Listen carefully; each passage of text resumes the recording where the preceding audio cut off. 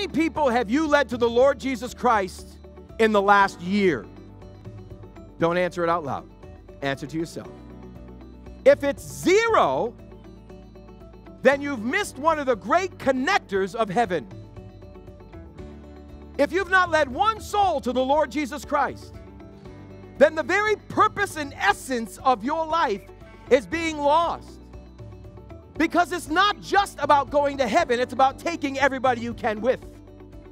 It's about you and I coupling with the Lord, and the Lord worked with them accompanying with signs and wonders. God wants to start working through your life. God wants to start. Listen, I'll read it to you. It's very simple. Matthew 5 14. You are the light of the world. A city on a hill cannot be hidden. Philippians chapter 2, verse 15 says this that you may become blameless and harmless, children of God without fault in the midst of a crooked and perverse generation, among whom you shine as lights in the world